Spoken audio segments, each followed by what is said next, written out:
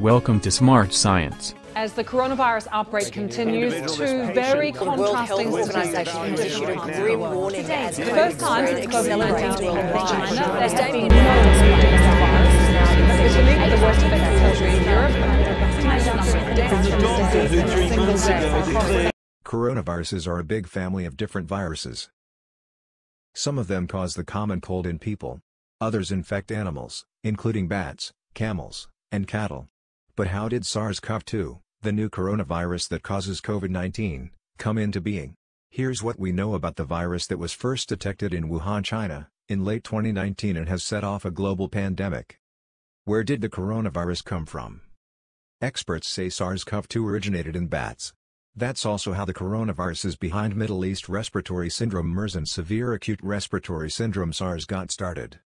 SARS-CoV-2 made the jump to humans at one of Wuhan's open-air wet markets. There where customers buy fresh meat and fish, including animals that are killed on the spot. Some wet markets sell wild or banned species like cobras, wild boars, and raccoon dogs.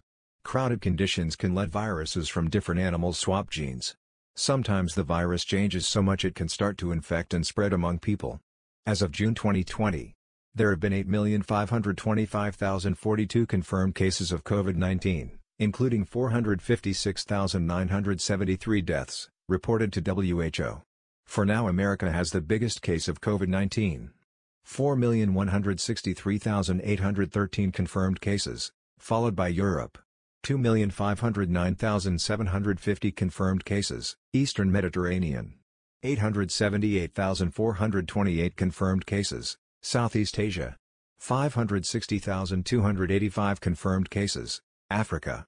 208,535 confirmed cases, Western Pacific. 203,490 confirmed cases. How does coronavirus attack your body? A virus infects your body by entering healthy cells. There, the invader makes copies of itself and multiplies throughout your body. The new coronavirus latches its spiky surface proteins to receptors on healthy cells, especially those in your lungs. Specifically, the viral proteins bust into cells through ACE2 receptors. Once inside, the coronavirus hijacks healthy cells and takes command. Eventually, it kills some of the healthy cells. How does coronavirus move through your body? COVID-19, the illness caused by the coronavirus, starts with droplets from an infected person's cough, sneeze, or breath. They could be in the air or on a surface that you touch before touching your eyes, nose, or mouth.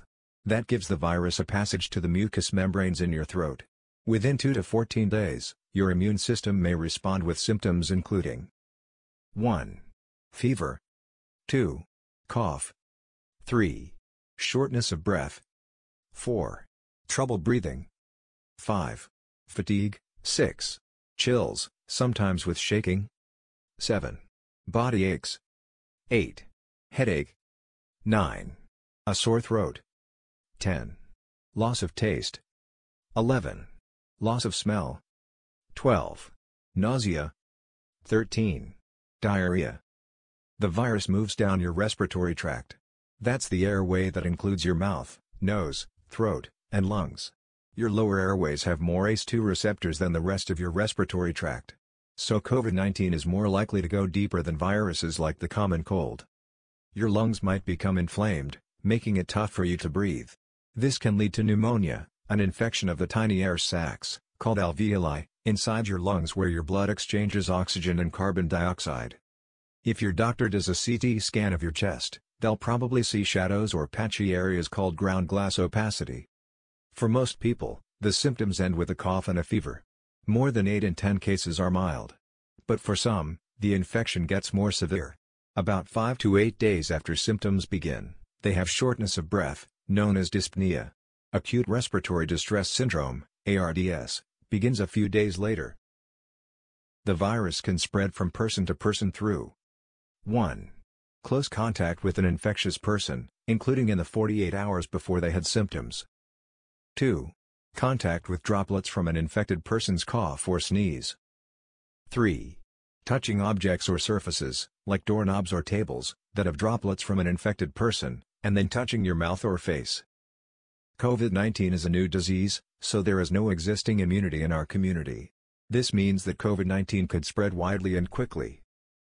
Who's at high risk to have a COVID-19 virus? Older age.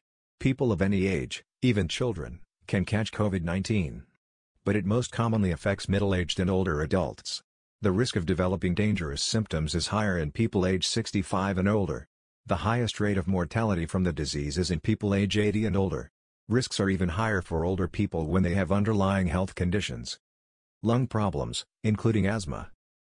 COVID-19 targets the lungs, so you're more likely to develop severe symptoms if you have pre-existing lung problems, such as, moderate to severe asthma, chronic obstructive pulmonary disease, COPD, lung cancer, cystic fibrosis, pulmonary fibrosis.